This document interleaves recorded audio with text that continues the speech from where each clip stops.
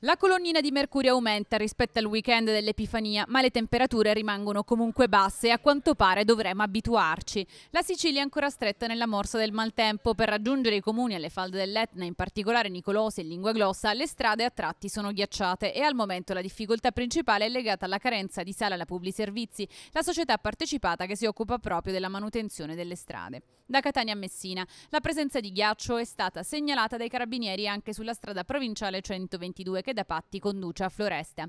A quanto pare infatti al momento non è percorribile e si potrà intervenire solo nel primo pomeriggio quando la manutenzione potrà essere effettuata. Pioggia, vento, freddo, saltano anche alcuni collegamenti marittimi. La motonave Laurana in servizio sulla rotta Napoli-Eolie Milazzo e la nave veloce Isola di Vulcano a causa delle avverse condizioni climatiche hanno saltato gli approdi di Stromboli, Ginostra, Vulcano e Salina. Stessa situazione anche sulla rotta Trapani-Egadi dove la motonave Vesta non ha potuto attraccare. Ad Agrigento Agrigento, dopo le abbondanti nevicate, continuano gli interventi del libero consorzio. Da questa mattina i cantonieri sono all'opera sulla strada provinciale Cammarata-Castronovo per spargere sale. Su tutte le strade della zona montana il passaggio è consentito esclusivamente con le catene. Il maltempo mette KO la Sicilia e non tarda ad arrivare l'allarme di Conf Vivai Confcommercio, che chiede alla Regione di dichiarare lo stato di calamità naturale con interventi di aiuto straordinario a favore del comparto vivaistico. L'ondata di gelo ha causato gravi danni sia alla coltivazione in serra, poiché la neve ha provocato il crollo di molte strutture, sia fuori serra, con la perdita di tutto il prodotto coltivato.